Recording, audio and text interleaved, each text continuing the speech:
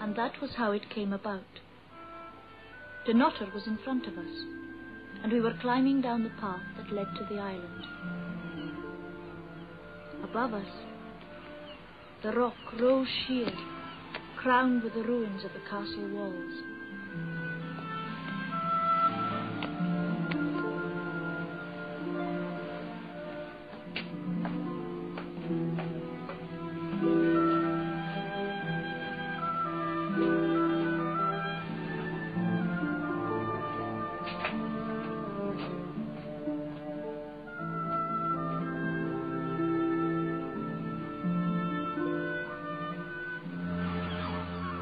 Gulls there were everywhere. I was deafened by the clamour of the brutes.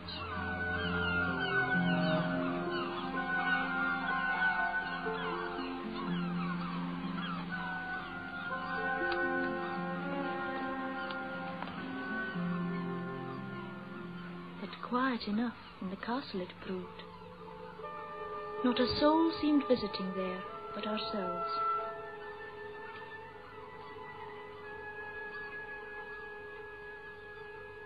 Down below in the dungeons where the mouldering clefts where a prisoner's hands were nailed while they put him to the torment.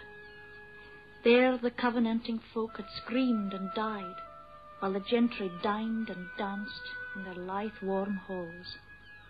I stared at the place, sick and angry and sad for those folk I could never help now.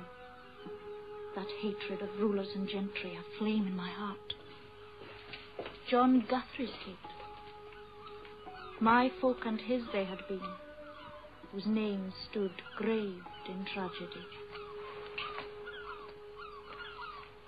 In this place died nine persons, prisoners in Dunnottar Castle, anno 1685, for their adherence to the word of God and Scotland's covenanted work of reformation.